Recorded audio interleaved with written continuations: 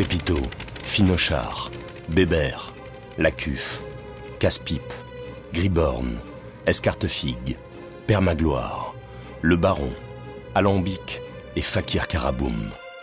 Les surnoms que nous nous étions choisis.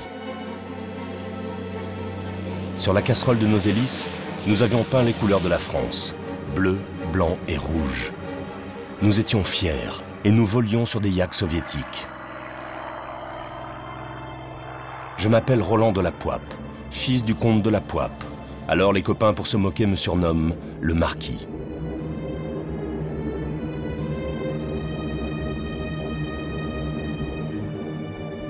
Je vais vous raconter l'histoire extraordinaire de notre groupe de copains.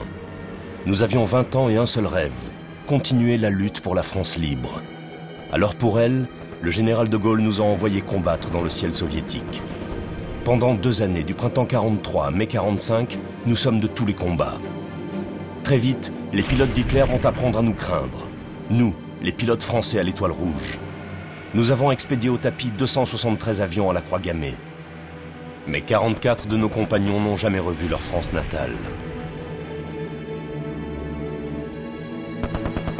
Nous venions tous d'horizons différents. Nous étions tous des combattants de la liberté et nous avions tous le même ciel comme champ de bataille.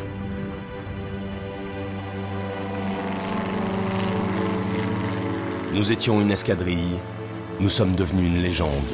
Son nom Normandie Niemen.